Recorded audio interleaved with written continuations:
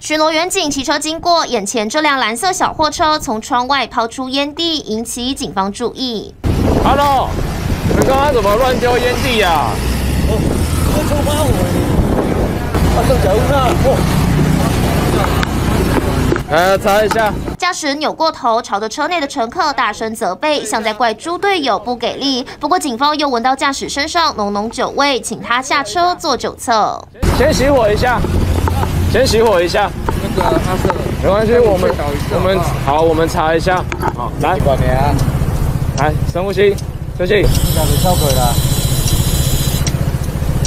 来，我们一起看。仪器出现零点二七的数值，果真酒测值超标。事发在高雄鸟松，十二月三十一号跨年夜晚上六点多，车上四个人都是工人，准备下班返家，却因为后座乘客乱丢烟蒂的举动，意外揪出酒驾。不只是三岁驾驶被依照公共危险罪送办，同车的三名猪队友没有劝阻驾驶，也有连带责任，一道交法罚六百到三千元。另同车三名乘客。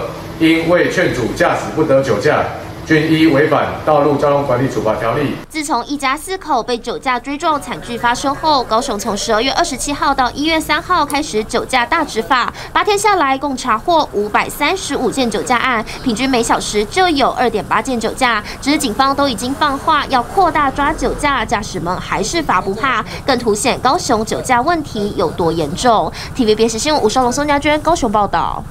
想扩大国际视野，掌握趋势，请订阅专门报道国际新闻的 YouTube 频道 TVBS 国际 Plus，记得要开启小铃铛哦。